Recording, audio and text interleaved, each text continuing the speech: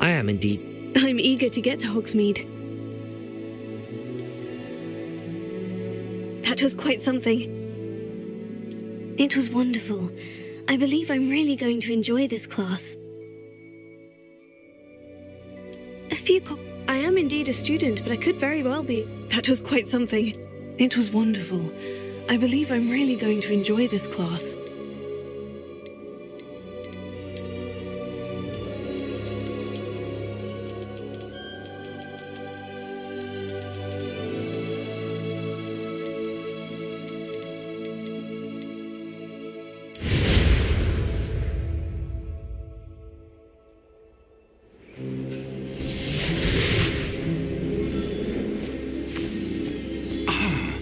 It appears we are almost ready to depart. It's a pity we didn't have a bit more time to spend on spellcasting. I presume you've been practicing the spells we worked on. I have, Professor. Well, I'm quite sure I've never seen anyone take so quickly to a second-hand wand. You'll be a force to be reckoned with when you get your own. Thank you, Professor Fig. I appreciate you working with me before the term begins. Oh, Eleazar!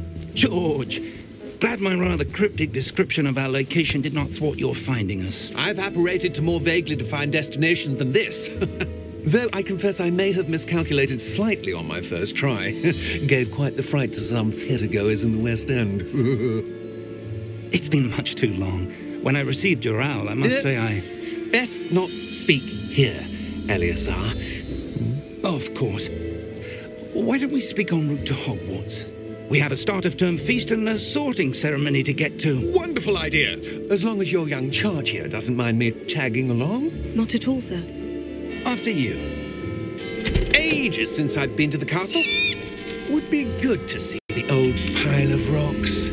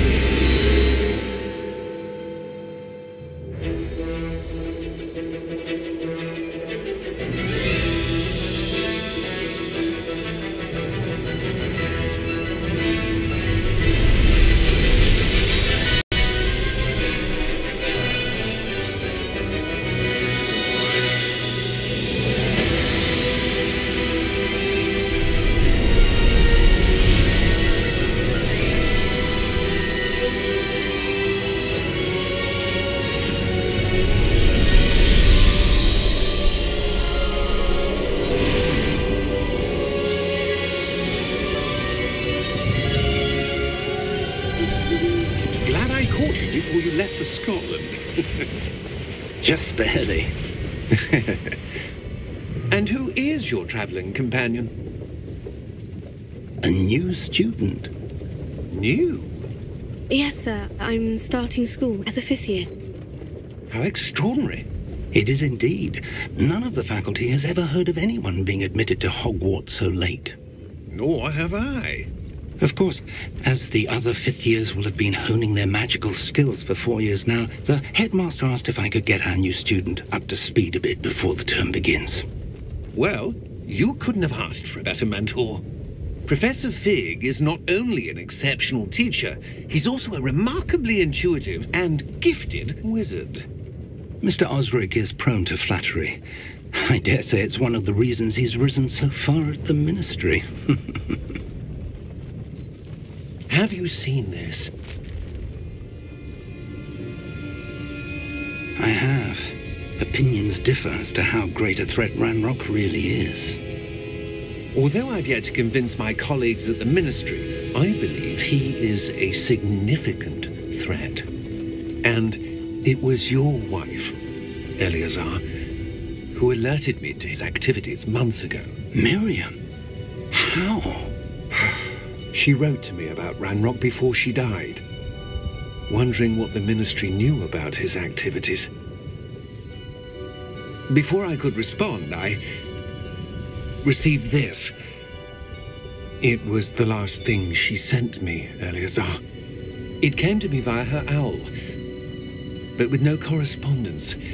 I can only assume That she had to get rid of it quickly. To keep it safe. presumably from Ranrok. I cannot open it. Whatever magic protects this is powerful indeed. It looks like goblin metal. That symbol. What's that glow? I don't see a glow. Nor do I.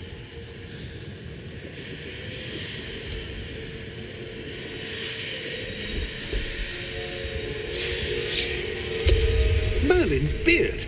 How did you Wait! We do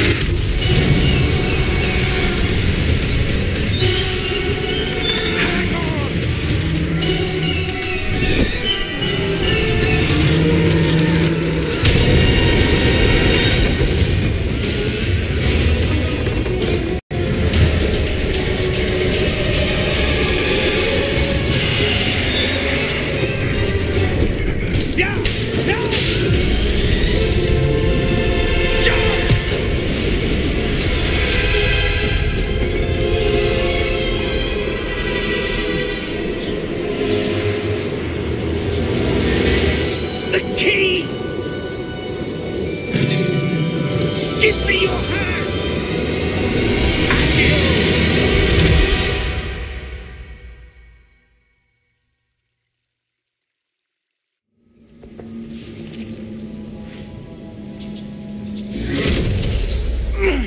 you all right? You're hurt. Perhaps a bit. Take this. It's Wiggenweld potion. That stuff will right you in a second.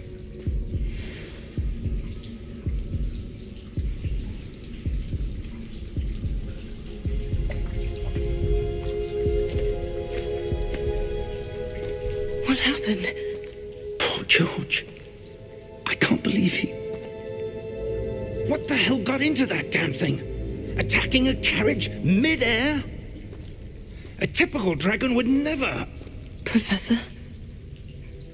Sir, where are we? I'm not sure.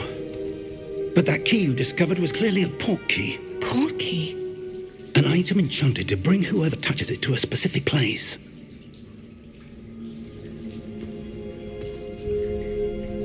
Feeling better, sir. If you'd like to look around a bit. I would. But stay close.